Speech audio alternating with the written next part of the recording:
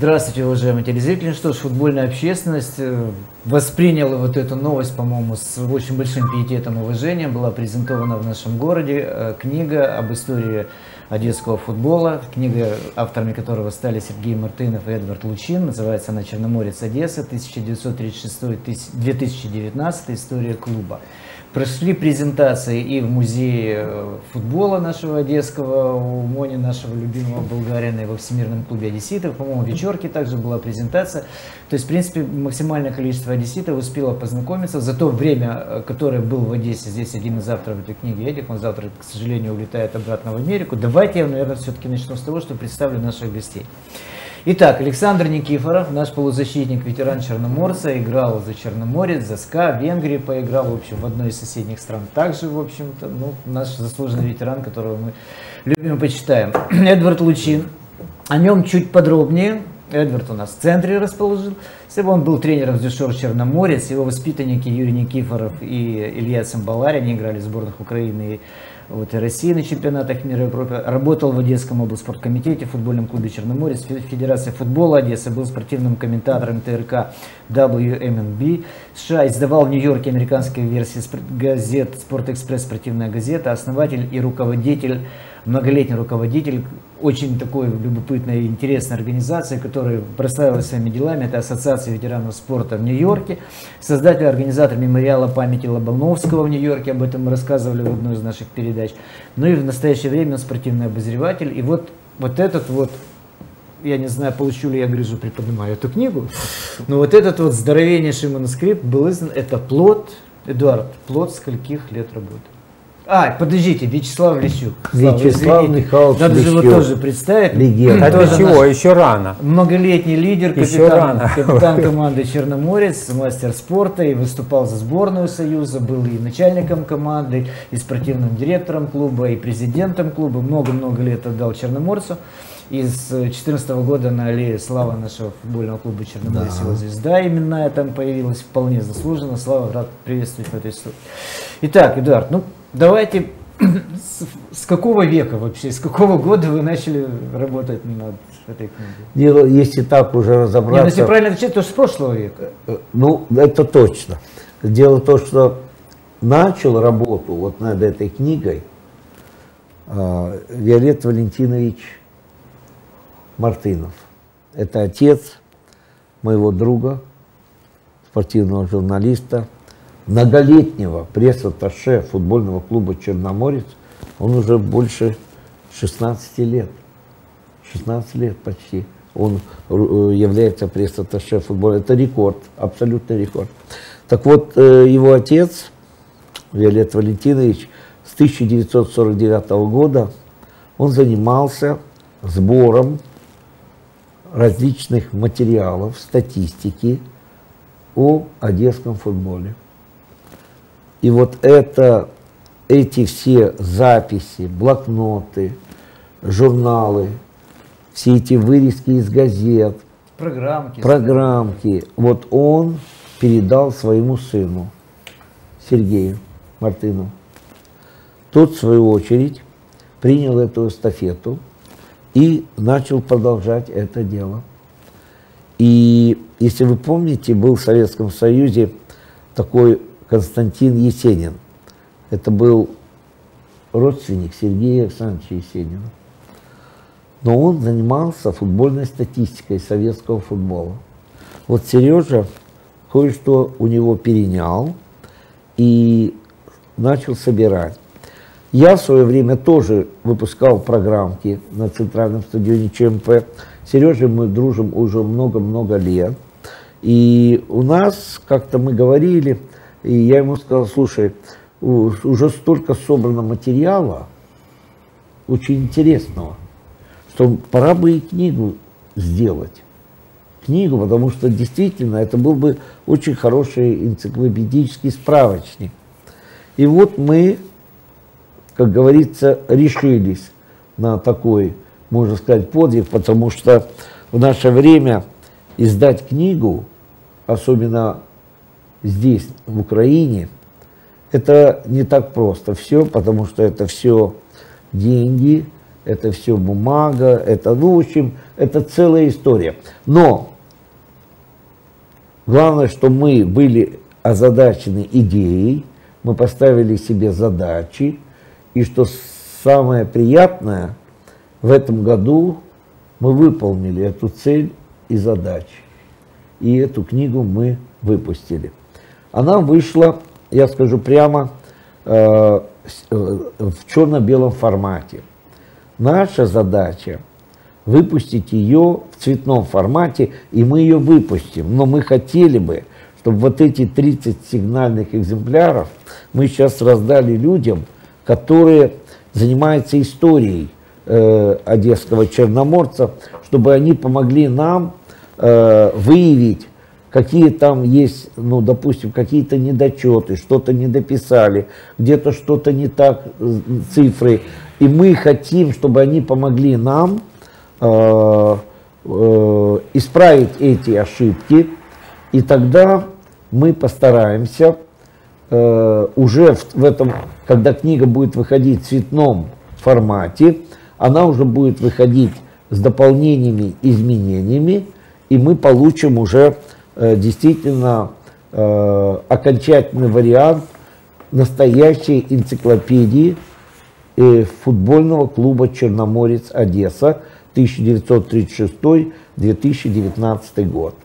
Еще надо отметить, конечно, всю ту скрупулезность, всю тщательность обработки, отшлифовки каждого, проверки каждого буквально факта, каждого материала. То есть я знаю ваше отношение к этой вот, вашу скрупулезность в этой работе. И, и точно так же Сергея Мартынова, который с ответственностью за каждое написанное, так сказать, слово, цифру и так далее, он 10 раз перепроверит, прежде чем что-то. Это То есть это действительно, вот подчеркиваем, что это не просто там какие-то байки футбольные, там какие-то, может быть, э, такие легенды, мифы и так далее. Это просто действительно Достоверные это факты, статистика четкая, которая перепроверена. Я должен сказать, Саша, э, э, большую благодарность хотел бы сказать Семеновичу Альтману, который, кстати, написал предисловие к этой книге. А давайте его прочитаю, вы не против? А, ну, Заберем если у нас есть время, почему да, бы есть, нет? у нас есть еще время. Итак, заслуженный тренер Украины Семен Альтман.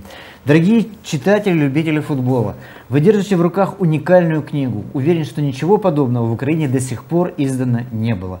Начиная с 1936 года по сию пору здесь подобнейшим образом освещена история одной из самых незаурядных отечественных команд Одесского Черноморца. Обзор чемпионатов СССР и Украины, сведения об участии в международных турнирах и даже в товарищеских встречах за каждой цифрой тщательно проверены. Стоит колоссальный труд в архивах, библиотеках, домашних коллекциях очевидцев.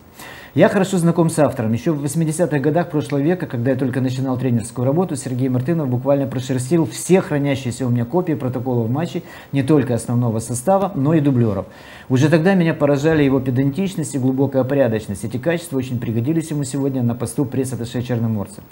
Эдуард Лучин, искренний, неунывающий человек, несколько лет проработал в системе клуба.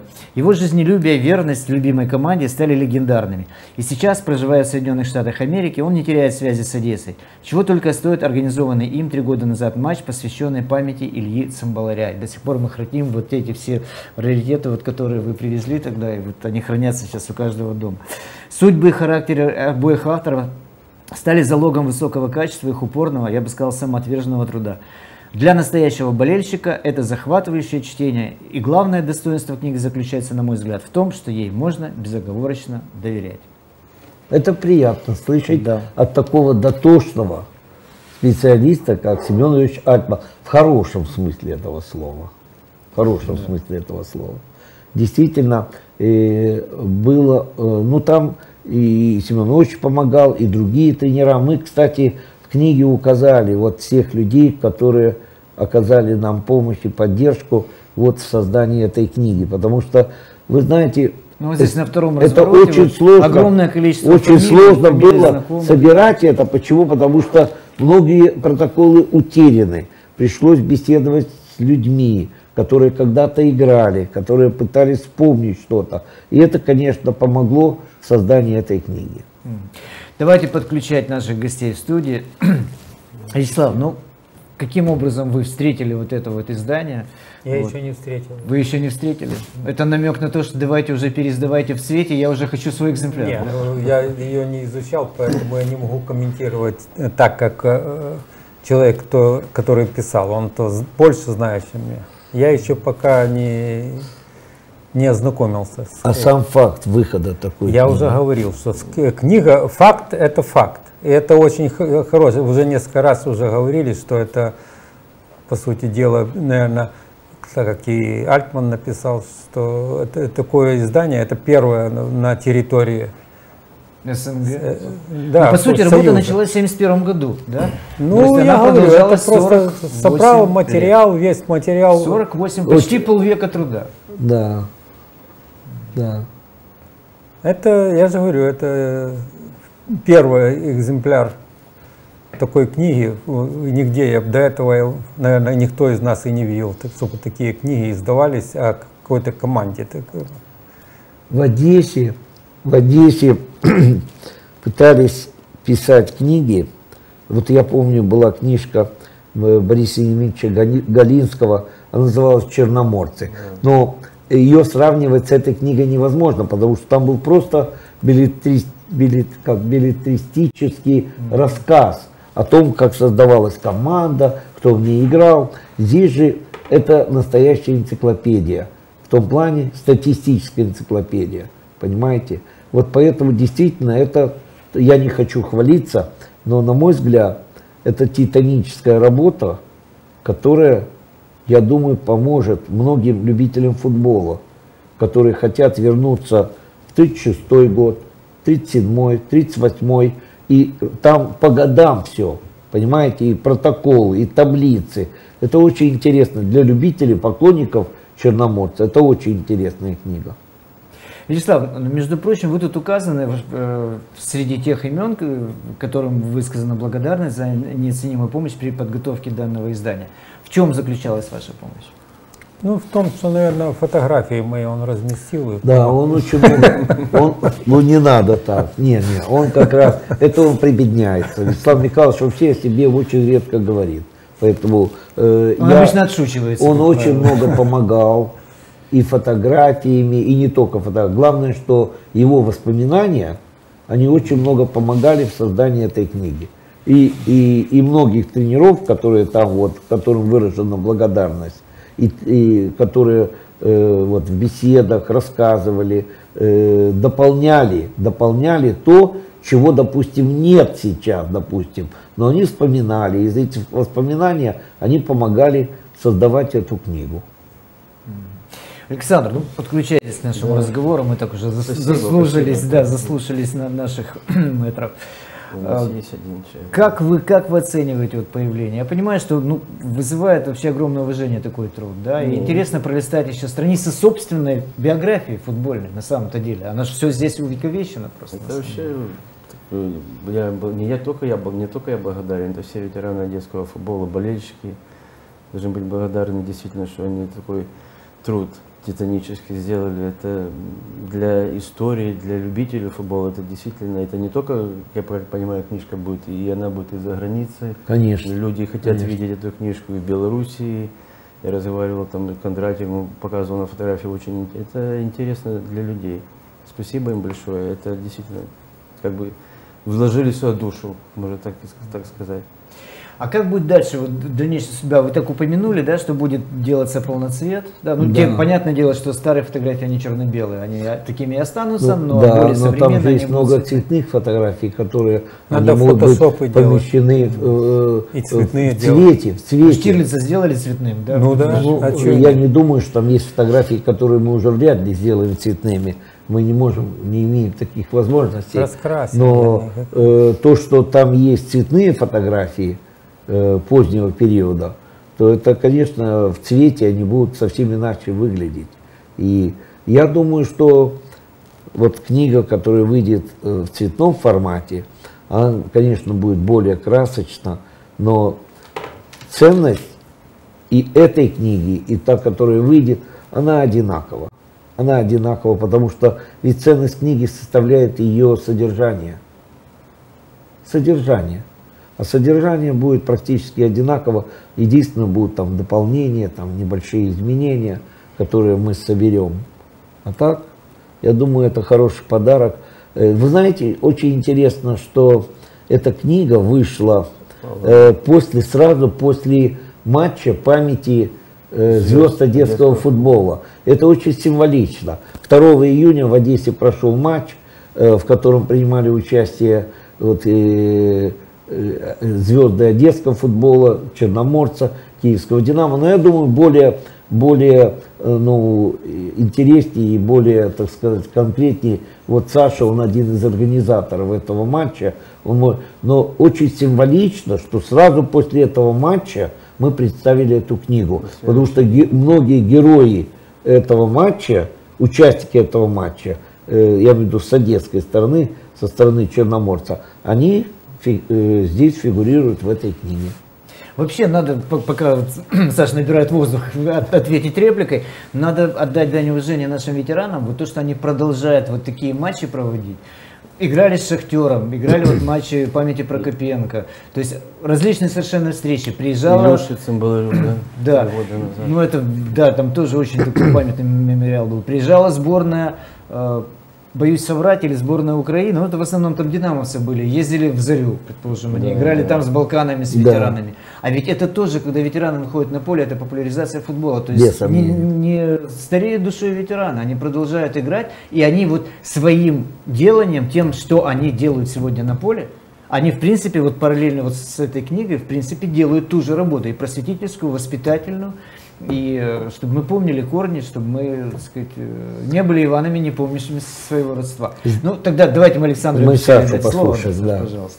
Да, ну это по поводу матча памяти звезд одесского футбола, эта идея вышла, как не то, что не странно, приятно от воспитанников нашей детской футбольной школы Черноморец 68 года. Это ребята играли в юношах и как бы предложили вот сделать такой матч. И эта идея э, после Нового года, как бы мы обговорили, и она постепенно, постепенно начала и превратилась вот в то, что все люди увидели 2, и- 2 июня. Здесь э, что мы хотели? Мы хотели как бы вспомнить ну, всех э, ушедших, чтобы показать на табло, кого, кто ушел.